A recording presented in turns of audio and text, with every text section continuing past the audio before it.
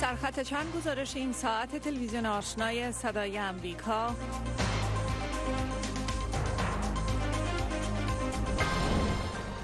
مسئول روابط خارجی و نماینده خاص اتحادیه اروپا می‌گوید که در مذاکرات صلح افغانستان نباید با دستاورد 18 ساله مردم بازی صورت گیرد. نخست باید روی آتش بس و گفتگو میان حکومت افغانستان و طالبان توافق شود. کمیسیون مستقل انتخابات افغانستان می‌گوید تا زمان اعلام فرست نهایی نامزدان انتخابات ریاست جمهوری برنامه نامزدان احتمالی کمپین انتخاباتی تلقی نمی شود. و رئیس جمهور ترامپ بعد از اعلام نتایج تحقیقات کمیته حقیقتیاب خواهان آغاز تحقیقات روی آنهایی شد که کمپین او را متهم و تبانی با روسیه کردند.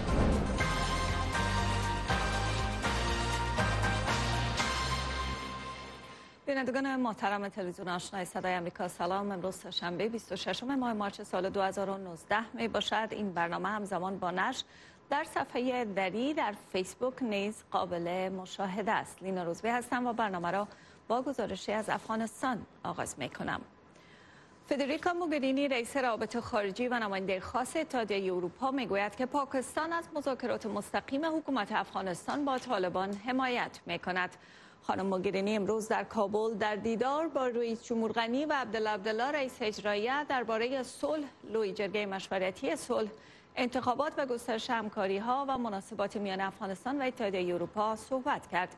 رئیس جمهور غنی در کنفرانس مطبوعاتی مشترک با موگرینی از اجندای پنج فقره‌ای اتحادیه اروپا در همکاری و تقویت دولتداری در افغانستان نیز سپاسگزاری کرد. موگرینی در خصوص روند مذاکرات صلح با طالبان از ایجاد تیم مشورتی همشمول با حضور زنان استقبال کرده است. نخست باید روی آتش بس و گفتگو میان حکومت افغانستان و طالبان توافق شود. دوم، یک تیم ملی مذاکره کننده متشکل از تمام نمایندگان جامعه افغانستان شکل بگیرد به ویژه زنان. می خواهم روی این نکته تاکید کنم چون زنان در جهان ثابت کردند که می توانند نقش اساسی را در مذاکرات صلح بازی کنند. رئیس جمهور غنی نیز از همکاری و تعهد اتحادیه اروپایی و طوری که گفته شد اجندای پنج فقری این اتحادیه در همکاری و تقویت دولتداری در افغانستان سپاسگزاری کرده است. ثباتی را که برای چل سال گذشته می‌خواستیم باید نتیجه قانونمندی و حاکمیت قانون باشه چون تنها از روی حاکمیت قانون و سهم وسیع تمام مردم افغانستان خاصتا زنای افغانستان است که ثبات به وجود میاد ثباتی که از رای گلوله از رای زور و از رای تهدید باشه ثبات نیست. فصل آغاز یک نارامی دیگه موگیرینی بعد از ختم سفرش به پاکستان و ملاقات با سران کشور به افغانستان سفر کرده است.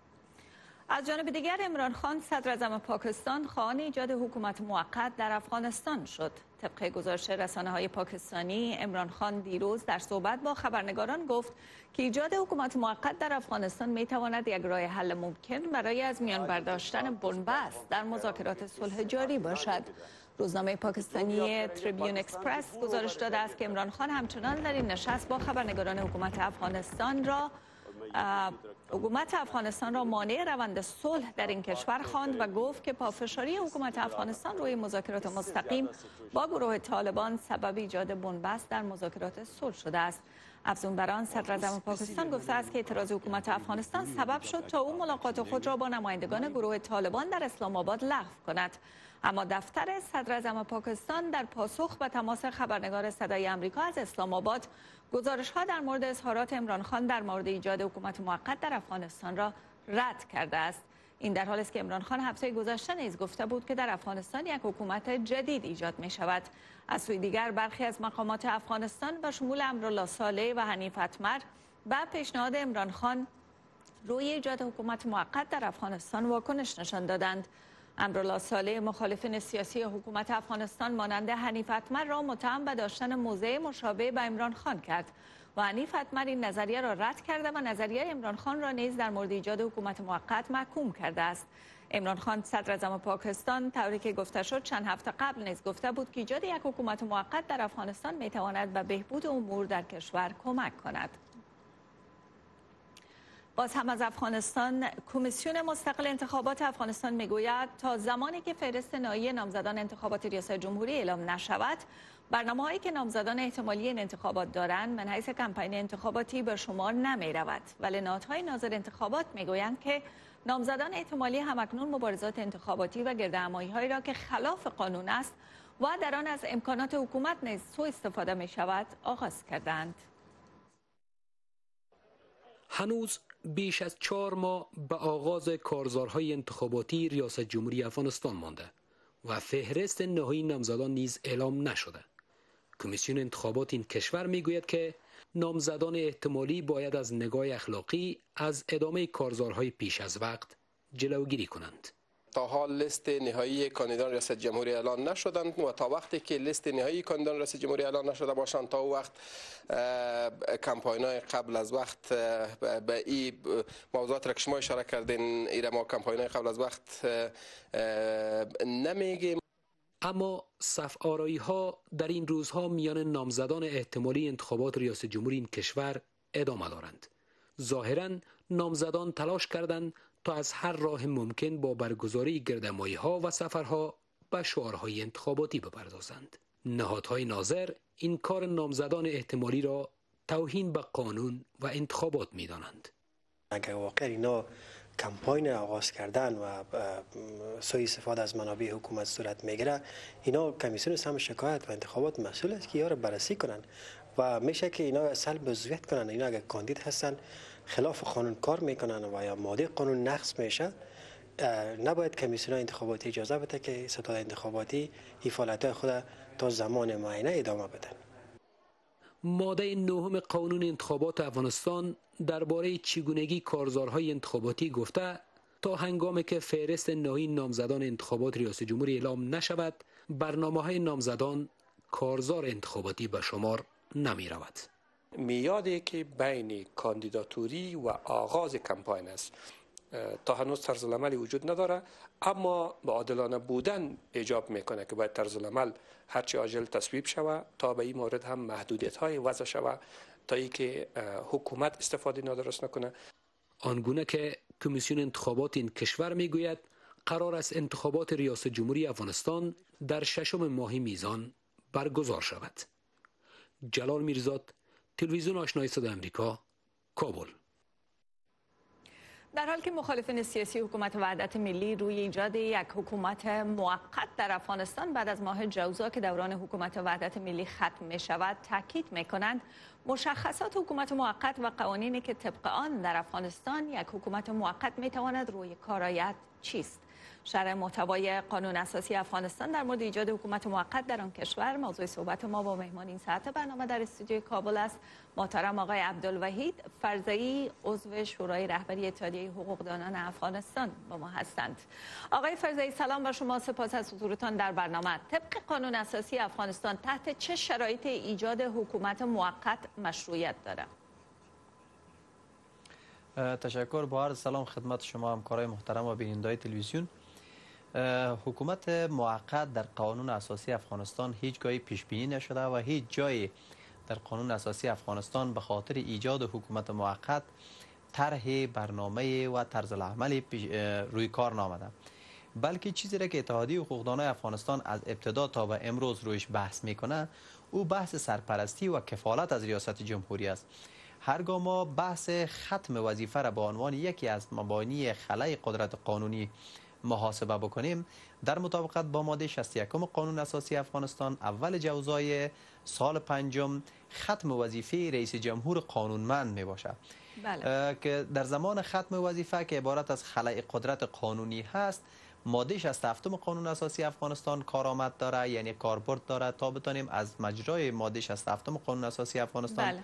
یکی از حالات سرپرستی را به وجود بیاریم اما فعلا چیزی که مطرح میشه این بحث حکومت موقت چنانچه در سال 2001 مطرح شده بود یعنی تمام دستاوردهای قانون اساسی افغانستان انتخابات هایی را که در ارتباط با ریاست جمهوری صورت گرفته و ریاست جمهوری هایی را که در دو دوره آقای کرزی و یک دوره را خلاف قانون اساسی افغانستان فراتر از قانون اساسی افغانستان بله. آقای غنی عهدهدارش بودن اینا را همیشه سرش خاک میریزانه و بالاخره دوباره از سر شروع میشه تا ما بتانیم یک قانون اساسی و یک حکومت جدید داشته باشیم. بنابراین ما معتقد به این هستیم که بله. حکومت موقت جایی در قانون اساسی افغانستان نداشته بلکه سرپرستی می‌تونه که جاگزین حکومت فعلی شود. شما گفتین که ماده 67 تنها ماده است که روی سرپرست داشتن در حکومت تاکید می‌کنه و در این ماده واضحا آمده که رئیس جمهور و یا سرپرست در صورت که رئیس جمهور به حال استعفا بده یا عزل شوه یا بیمار شوه یا وفات کنه روی کار میه و معمولا این معاون اول رئیس جمهور است که باید این مسئولیت را بر عهده بگیره. در حکومت وحدت ملی معاون اول رئیس جمهور که آقای دوستم از حضور نداره. اگر تصمیم بری شود که بعد از ختم دوره حکومت وحدت ملی سرپرست روی کار بیاید این مسئله چطور باید حل شود؟ ماده 67 قانون اساسی افغانستان چهار موردی را که پیش بینی کردن عبارت بله. از عموم مواردی است که صراحت داره در این ماده مبنی بر خلای قدرت قانونی. اما بحث دیگه که ما می‌خوایم او را مطرح بکنم این بحث ختم دوری وظیفه است. یعنی با استنباط و با قیاس از ماده 67 قانون اساسی افغانستان میشه گفت که ختم وظیفه یکی از حالات خلای قدرت قانونی است. با در نظر داشت از این پروسیجری را که قانون اساسی افغانستان در نظر گرفته در صورتی که رئیس جمهور و هر دو معاونش همزمان به یک مشکل سر دچار میشن مثلا وفات می‌کنن یا حالت دیگه به وجود میاد که خلای قدرت قانونی ایجاد می‌کنه. بعد از او رئیس مشران جرگه رئیس ولسی جرگه و وزیر خارجه می‌تونن که حالت سرپرستی را آقای فرزی وقت بسیار کم ما فراموش نکنیم. به شکل بسیار خلاصه. پس به گفته شما نهایتا حکومت موقت جای در قانون اساسی افغانستان نداره و تحت شرایط برحال قانونی نیست. اگر حکومت موقت روی کار بیایه بله؟ به هیچ صورت حکومت موقت به نفع افغانستان هم نیست و در قانون اساسی افغانستان هم جای نداره و در اصول حقوقی افغانستان هم هیچ جای و گنجایش نداره. ممنونم سپاس از شرحی که از ماده های قانون اساسی روی ایجاد حکومت موقت برای بیننده را داده. موفق باشین. تشکر. سلامت باشید برنامه را باز هم با گزارش مرتبط به افغانستان ادامه می دهیم سه زن و یک کودک افغان بر اثر واژگون شدن کشتی حاملشان در سواحل ترکیه کشته شدند. مقامات ترکی می‌گویند که آنها 11 تن دیگر را نیز بعد از واژگون شدن این کشتی ماجرین از آبهای نزدیک سواحل کانکل نجات دادند. این کشتی حامل 15 مسافر از افغانستان ایران بود و در زمان غرق شدن به سمت جزیره لسبوس در یونان در حال حرکت بود. ترکیه با اتحادیه اروپا در سال 2016 موافقت نامه را روی کاهش تعداد پناهجویانی که از ترکیه به اروپا می‌روند به امضا رسانید ولی هنوز مهاجرین با به خطر افکندن جان خود به طور غیرقانونی می‌کشند.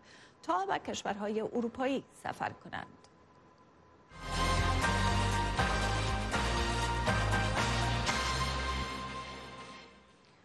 می‌پردازیم به خبرهای دیگری از منطقه. حداقل 20 تن بر اثر سرازیر شدن سیلاب ها در چندین ولایت ایران جان باختند و ایرانی ها در رسانه های اجتماعی از رئیس جمهور کشورشان و مقامات محلی روی عدم رسیدگی به این واقعات انتقاد کردند. سخنگوی اداره رسیدگی به بحران ایران می‌گوید که سیلاب ها در حدود 31 ولایت ایران به وقوع پیوسته است. وزارت خارجه ایالات متحده در یک توییت به زبان فارسی با خانواده های قربانیان سیلاب ها در ایران ابراز همدردی کرده و گفته است که ایالات متحده برای کمک با مردم ایران آماده است. شدت این سیلاب ها در شیراز بیشتر از دیگر مناطق بود و بیشترین قربانیان این سیلاب ها نیز در شیراز به ثبت رسیده است. چهار سال از آغاز جنگ در یمن می گذرد و این جنگ که باعث کشته و زخمی شدن هزاران یمنی شده است یکی از فاجعه بارترین رویدادهای بشری در قرن جاری قلمداد می شود و تاریخچه جنگ چهار ساله در یمن نظری در این گزارش می افکنیم. پس از شدت گرفتن جنگ و ناامنی در بندر هدیده احمد غالب با خانم و شش فرزندش ناچار به ترک خانه خود شدند و حال بدون داشتن سقف بالای سر در خیمه های موقت زندگی می کنند. غالب یکی از یک میلیون نفر است که با دلیل چهار سال جنگ در یمن بیجا شدند. اما چه چیزی باعث شد تا اختلافات سیاسی عقیدتی و درگیری های مسلحانه میان جنگجویان حوسی و حکومت مرکزی یمن و بدترین فاجعه بشری مبدل شود در سال 1990 تحت رهبری علی عبدالله صالح یمن جنوبی و شمالی یکجا شدند و کشور یمن را تشکیل دادند. اما در سال 1994 به دلیل نارضایتی ساکنین جنوب از موقعیت پایینتر اجتماعی به نسبت ساکنین شمال جنگ داخلی در آن کشور آغاز گردید. از این تاریخ و بعد یمن که متشکل از قومیت ها و مذاهب گوناگون است همواره از صحنه تنش های سیاسی باقی ماند. میان سالهای 2003 تا 2009 حوسی ها قد علم کرده و علیه به راندن اقلیت شیعه زیدی دست به اعتراضات گسترده زدند. بهار عربی که باعث برکناری ساله از قدرت در سال 2011 گردید یمن را به سمت تشکیل یک حکومت موقت پیش برد. سال 2014 برای حوسی ها سال درخشانی بود زیرا آنان با کمک رئیس جمهور برکنار شده صنعا پایتخت آن کشور را تصرف کردند و خواهان داشتن سهم مهم در حکومت آن کشور شدند. ادامه جنگ و حمایت ایران از حوسی ها زمینه را برای آغاز حملات هوایی ائتلاف و رهبری عربستان سعودی در ماه مارچ 2015 فراهم نمود. 2016 شاهد ظهور مجدد القاعده در یمن و افزایش تلفات غیر نظامیان و کمبود مواد اولیه در بندر هدیده و سایر شهرهای آن کشور بود. با تشدید حملات هوایی نیروهای اطلاع و رهبری عربستان سعودی و بروز قحطی که باعث مرگ هزاران کودک یمنی گردید سازمان ملل متحد و کشورهای جهان در سال 2017 در تلاش برای کاهش تنش میان طرفین درگیر و رسیدن به یک راه حل صلحآمیز برای بحران یمن بودند. در این سال حوسی ها هم آرام ننشسته و ریاض را هدف راکت قرار دادند. علی عبدالله صالح هم که دیگر از حوسی ها حمایت نمی کرد در حال فرار از دست این گروه و قتل رسید. 2018 حامل خبرهای بدتری از یمن بود. آمارهای جهانی عمق فاجعه بشری در یمن را تایید کردند. کودکان قربانیان اصلی جنگ بودند. 2019 میلادی با بحث روی چگونگی اجرای آتش بس در بندر هدیده در یمن آغاز گردید. در سه ماه گذشته در حالی که امید برای رسیدن به صلح در یمن افزایش یافته اما از سرگیری حملات هوایی توسط نیروهای ائتلاف و رهبری عربستان سعودی این امید را تا حد زیاد کمرنگ ساخته است. یلدا بکتاش تلویزیون آشنای صدای امریکا واشنگتن. عربستان سعودی، بحرین، قطر و کویت که متحدین نزدیک ایالات متحده در منطقه و میزبان پایگاه های نظامی امریکا می باشند، از تصمیم به رسمیت شناختن حاکمیت اسرائیل بر ارتفاعات گولان توسط رئیس جمهور ترامپ انتقاد کردند و این ارتفاعات را سرزمین اشغال شده عرب ها خواندند. رئیس جمهور ترامپ با بنیامین نتانیاهو صدر اسرائیل دیروز در قصر سفید ملاقات کرد و اعلام کرد که حاکمیت اسرائیل را بر ارتفاعات گولان به رسمیت می‌شناسد. روز گذشته یک راکت از جانب غزه پرتاب و در 25 کیلومتری شمال تل ابیب اصابت کرد اسرائیل گروه ستیز جوی حماس را متهم می کند این حمله باعث کوتاه شدن مدت سفر صدر اعظم اسرائیل به واشنگتن شد. این کار می توانست قبلا انجام شود. منظورم این است که بسیاری از رؤسای جمهور باید این کار را انجام می دادند اما با دلایل نشد و من بسیار افتخار می کنم که این کار را انجام دادم. سپاسگزاری نتانیاهو از ترامپ جدی بود. اعلام شما زمان صورت می گیرد که منطقه ارتفاعات گولان برای امنیت ما مهمتر از همیشه است. در زمانی که ایران سعی در ایجاد پایگاه در سوریه برای حمله به اسرائیل دارد. اسرائیل در جنگ سال 1967 ارتفاعات گولان را از سوریه گرفت و در سال 1981 به طور یک جانبه آن را زمینه سرزمین های خود ساخت. زمینه ای که با گونه بین المللی به رسمیت شناخته نشد. اعلام ترامپ چندین دهه سیاست خارجی ایالات متحده را لغو کرد. این یک احسان ترامپ به او هست. این یک هدیه به دولت نتانیاهو است که می‌گوید ما پشت سر شما هستیم. ما از شما حمایت می‌کنیم. بله. پس آرا باری دیگر برای نتانیاهو خواهد بود. در این حال موضع طرفداری از اسرائیل برای رئیس جمهور در جلب حمایت دو گروه سیاسی یهودیان امریکایی و مسیحیان فرقه پروتستانت کمک می کند. رئیس جمهور ترامپ برای انتخاب مجدد خودش آماده است و او می خواهد از دیدار با نتانیاهو برای متقاعد کردن برخی از دموکرات ها استفاده کند که نظریات ضد یهودی و ضد اسرائیلی ارائه کردند. در این حال تیاره های اسرائیل در اوایل امروز سهشنبه حملات هوایی در نوار غزه را در حال انجام دادند که اردوی اسرائیل از ادامه پرتاب راکت های فلسطینی گزارش می‌داد. من یک پیام ساده برای دشمنان اسرائیل دارم. ما باید از مردم و کشور خود دفاع کنیم. خشونت صرف دو هفته قبل از انتخابات در اسرائیل حراس ها را از امکان یک درگیری بزرگتر برانگیخته است. در یک انکشاف تازه فرمانده دفاع راکتی اسرائیل گفته است که کشورش برای نخستین بار و به زودی از حریم هوایی ایالات متحده برای انجام پرواز آزمایشی سیستمی استفاده خواهد کرد. لیلما حبیب عظیمی تلویزیون آشنا صدای امریکا واشنگتن.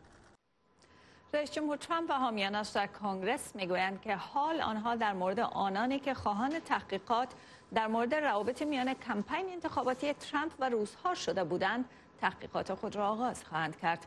آقای ترامپ و حامیانش این نظریه را پس از آن ارائه کردند که گزارش نهایی تحقیقات هیئت خاص حقیقتیاب که مداخله روسیه را در انتخابات ریاست جمهوری سال 2016 ایالات متحده بررسی می‌کرد حاکی است که هیچ تبانی میان رئیس جمهور ترامپ یا نزدیکانش با روسیه وجود ندارد. شرح بیشتر در این مورد را از همکارم سید عزیز الرحمن میشنوید که مکنون با ماست. آقای عزیز چرا رئیس جمهور و آمیانش خانه این تحقیقات شدند تشکر خانم روز به دلیلش است که رئیس جمهور همواره تحقیقات در مورد مداخله روسیه در انتخابات ریاست جمهوری سال 2016 و تحقیقات در مورد نزدیکانش البته در ارتباط با تماس نزدیکانش با روزها ایرا یک دسیسه و توطعه عنوان کرده و گفته است که پول و انرژی و وقتی که در جریان تحقیقات مصرف شده همش بیجا بوده. به همین دلیل رئیس جمهور دیروز وقتی که صحبت می‌کرد در قصر سفید تا حد ناراحت بود و گفت هستند افرادی که اعمال بسیار بد و حتی خائنانه را در برابر این کشور انجام دادند و گفت که بدون شک این افراد مورد بررسی قرار خواهند گرفت. البته رئیس جمهور نه تنها افراد را بلکه رسانه ها را نیز مورد انتقاد قرار داده. رئیس جمهور دونالد ترامپ حدود دو ساعت قبل در توییتر خود نگاشته که رسانه ها یک ادعای به اساس را برای مدت دو سال پوشش خبری دادند و رئیس جمهور رسانه ها را دشمن مردم و جناح مخالف اصلی عنوان کرده است. دونالد ترامپ رئیس جمهور ایالات متحده و حامیانش در کنگرس گفتهاند در قبال آنان که حامی تحقیقات در مورد ارتباطات میان کارزار انتخاباتی سال 2016 ترامپ و روزها بودند تحقیقات خود را آغاز خواهند کرد. من این کشور را دوست دارم. من با این کشور به اندازه ای که می توانم یک چیزی را دوست داشته باشم محبت دارم و مثل خانوادم کشورم و خدایم. اما چیزی را که آنان انجام دادند یک ادعای بی اساس بود یک کار بسیار بد بود. هیچگاه اجازه داده نمی توانیم که چنین کار بالای یک رئیس جمهور دیگر واقع شود. با وجود این ناراحتی هفته جاری برای رئیس جمهور ترامپ یک هفته موفقیت آمیز تلقی می شود زیرا بر اساس یافته های هیئت خاص حقیقتیابی که مداخله روسیه را در انتخابات ریاست جمهوری سال 2016 امریکا بررسی می‌کرد هیچ سند مبنی بر تبانی میان دونالد ترامپ و روزها وجود ندارد. اما در یافته های این تحقیقات هیئت خاص حقیقتیاب پاسخ این پرسش را مشخص نساخته که آیا رئیس جمهور ترامپ به خاطر ممانعت یا اخلال در برابر تطبیق قانون تلاش کرده است یا خیر. ویلیام بار لویترانوال ایالات متحده گفته که یافته های تحقیقات نشان می دهد که اسناد و شواهد کافی وجود نداشته تا رئیس جمهور ترامپ را به خاطر اخلال در برابر تطبیق قانون متهم کرد. ولی آقای بار اضافه کرده که در یافته های این تحقیقات رئیس جمهور مبرا نیز نمی باشد با پایان یافتن بررسی های هیئت خاص حقیقتیاب سخنگوی قصر سفید روز گذشته رسانه ها را مورد انتقاد قرار داد. رسانه ها نه تنها اینکه یک افترا و دروغ زشت را گزارش دادند و پخش کردند بلکه آنها برای برکنار کردن رئیس جمهوری ایالات متحده نیز امیدوار بودند.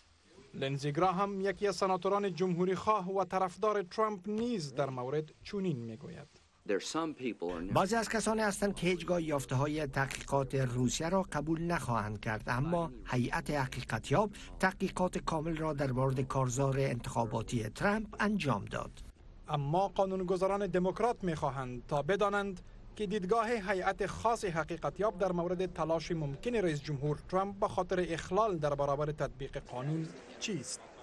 قانونگذاران دموکرات خواستار ارائه متن کامل یافته های تحقیقات در مورد روسیه نیز هستند. با در نظر داشت این گفته های خود رئیس حقیقتیاب که رئیس جمهور مبررانه است یافته های او پرسش های بیشتری را برانگیخته است. با وجود آنکه رئیس جمهور ترامپ هنوز هم با تحقیقات از جانب کانگرس و څارنوالان در نیویورک روبرو می باشد اما به باور تحلیلگران یافته های تحقیقات هیئت خاص حقیقتیاب برای دونالد ترامپ یک قوت سیاسی می دهد و نیز امکان استیزای او را بعید می سازد. برنامه را باز هم با خبر مرتبط به ایالات متحده ادامه می دهیم مایک پمپیو وزیر خارجه امریکا و همتای روسیش هشدار داده است که ایالات متحده از این به بعد در برابر تنش افزایی های روزافزون سیاسی روسیه در ونزوئلا بی تفاوت نخواهد بود وزارت خارجه ایالات متحده می‌گوید که آقای پمپیو و سرگی لاوروف وزیر خارجه روسیه در یک مکالمه تلفنی بر روز دوشنبه ابراز داشت که حمایت اردوی روسیه از رژیم غیرمشروع نیکولاس مدورو خطر تداوم رنج مردم ونزوئلا را به همراه دارد که اکثریت آنان از حکومت موقت به رهبری خوان گوایدو حمایت می کنند این تماس تلفنی در حال در میان وزرای خارجه ایالات متحده و روسیه صورت گرفته است که مطبوعات روسی و ونزوئلا و روز دوشنبه از بازگشت دو جت نظامی روسیه به مسکو بعد از انتقال یک مقام دفاعی روسی و حدود 100 سرباز و مواد نظامی به ونزوئلا خبر دادند. اخبار افغانستان و جهان. تحولات سیاسی و فراتر از آن. تحلیل و بررسی رویدادها. تلویزیون آشنا صدای امریکا. منبع اخبار موثق و گزارش های جامعه کمبود سرپناه و شفاخانه های میاری برای تداوی معتادان در ولایت هرات باعث افزایش روزافزون شمار معتادان و مواد مخدر در این ولایت شده است. مسئولین ریاست مبارزه با مواد مخدر هرات می‌گویند با اینکه حکومت بارها وعده اعمار یک شفاخانه بزرگ میاری را برای تداوی معتادان داده است ولی تاکنون در این زمینه اقدام نکرده است. خلیل نورزایی با شرح بیشتر. با اینکه وزارت مبارزه با مواد مخدر افغانستان بارها وعده ساخت یک شلتر و شفاخانه بزرگ را برای تداوی معتادان در ولایت هرات داده است اما با گذشت چندین سال تا به حال در این زمینه کاری انجام نشده است. موضوعی که با نگرانی مسئولان ریاست مبارزه با مواد مخدر ولایت هرات همراه شده است. آنها می‌گویند به دلیل نبود یک شفاخانه معیاری برای تداوی معتادان و ظرفیت‌های پایین مراکز ترک اعتیاد خصوصی در این ولایت شمار افراد معتاد به مواد مخدر در این ولایت هر روز رو به افزایش است. عمده نگرانی ما و خواست ما و طرحی که همیشه ما در برای مقامات پیشکش می‌کردیم دو موضوع است. یکی نبود shelter دائمی و قانونی در ولایت هرات و در پلیزو برای تداوی معتادین یک complex جامعی که در, در داخل از complex در پهلوی تداوی خدمات آموزش های حرفه‌ای و کاریابی را برای معتادین داشته باشیم شماری از معتادان در شهر هرات نیز می‌گویند در مراکز ترک اعتیاد خصوصی به علت نبود امکانات و دوا به شکل درست تداوی نمی شوند و به همین علت دوباره به مواد مخدر روی می آورند. آنان از حکومت می خواهند تا با ایجاد یک مرکز استاندارد زمینه ترک دائمی آنان را فراهم کنند. خود دولت به ما یک شفاخانه بسازه ما رو تواوت کنه. وقتی که خوب شدیم اگر می‌خواد سرمازی چره کنم؟ ما خدمت می‌کنیم. اگر می‌خواد ما به ما کار بدهم از دولت خواهش می‌کنیم که چی؟ یه جایی رو بسازن برای ما که بتونیم اونجا راحت ترک کنیم و بعد از ترک یه کاری به ما بدن. بارها و بارها و توی کمپاس زیاد ترک کردم. از کم که بیرون میشم جایی رو ندارم کاری رو ندارم. باز دوباره آغشته مواد مخدر میشم. کامران علیزایی رئیس شورای ولایتی هرات نیز ایجاد یک شفاخانه معیاری برای تداوی معتادان در این ولایت را یک نیاز اساسی می‌داند. او می‌گوید در صورتی که مقام های دولتی در این راستا بیتوجه باشند شمار افراد معتاد به مواد مخدر در این ولایت از مرز 60 هزار نفر هم بلندتر خواهد رفت. نیاز است در ولایت را یک شفاخانه بسیار بزرگی به خاطر ترک معتادین درست بشه معتادین ترک داده بشه و که حدود 70 فیصد از معتادین که از خود هرات نیستن به خود ولایت اینا انتقال داده بشه بر اساس آمارها در ولایت هرات بیش از 60 هزار فرد معتاد به مواد مخدر زندگی می کنند که 13 فیصد آنان را زنان و 5 فیصد را اطفال تشکیل می دهند. خلیل نورزایی تلویزیون آشنا در ختم بخش دری برنامه این ساعت همکارم سعید سلیمان آشنا شما را در جریان محتوای برنامه در نیم ساعت بعدی و به زبان پشتو قرار خواهد داد. آقای آشنا سلام بر شما. کمی در مورد محتوای برنامه در نیم ساعت بعدی معلومات بدین جان زم سلام وړاندې کوم. مهمه خبره ده چې په کابل کې تازه تبصرې د افغانستان د سولې په اړه باندې شوې دي. د پوره تفصیل به ورسته ورکو خدای د نړیوالو خبرونو لنډیز باول وورو